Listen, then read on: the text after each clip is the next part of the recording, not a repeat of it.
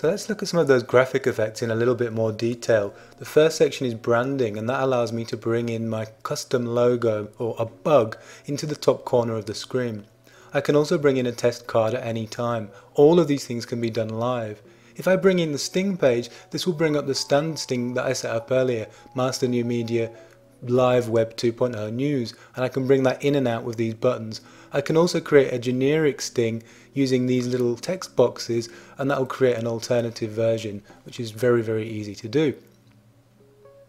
I can then create a lineup of what's coming on next, and that will create a similar screen for me. So I just put in the different items here, click on in, and then at any point I can do that, I can bring that in live and that will show the viewers exactly what's going to be on the show today. Next you've got what's called the partial, which is kind of half the way through the screen. You can create, for instance, a strapline, which will put your name and another caption directly beneath that. So that's really useful for introducing a guest. You can also bring in an over-shoulder image and you just have to put the URL of the image in and a caption and that will bring that in on the left of the screen. This is great for bringing in new news items for instance. Finally you can set up a news ticker for your channel and that means you can basically add lots of different items with either a comma or an enter between them and once you've put those in they will scroll along the bottom of the screen kind of like you see on CNN or BBC. So those are the graphic effects that you can add. Now let's have a look at cueing the video and bringing it directly in. What you do is you click on one of the clips that you want to choose and have play next, and then you click the Cue button. That brings the clip into the center of the screen and will tell you exactly how long the clip is going to be. It tells you how much time there is left of the current playing clip and you can tick or untick this box that says transition to cued when finished so it will automatically go to that next clip. Alternatively you can click on the transition to cued clip at any time, you don't have to wait and it will automatically bring that next clip in for you.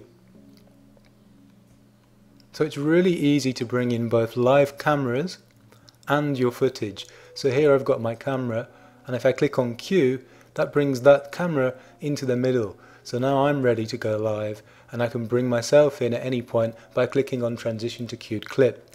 And the same thing would work if I had any number of other guests or other producers. I or they can bring them into the video just like that with the transition and just as quickly we can make a transition to the next clip. So you can really quickly move between these different parts of the video which is excellent.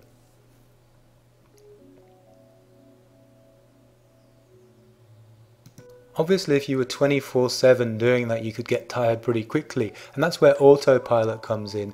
With autopilot you simply drag and drop the playlists that you've created, the storyboards, and you can then sequence them and put them in whichever order you like. And basically what happens is when you're not directly live you can have the autopilot play these in sequence. So if you set up enough of them, you could go away for the day and your channel will still be broadcasting different content live. You can restart the autopilot or pause it at any time, so this is a really useful addition for live broadcasters.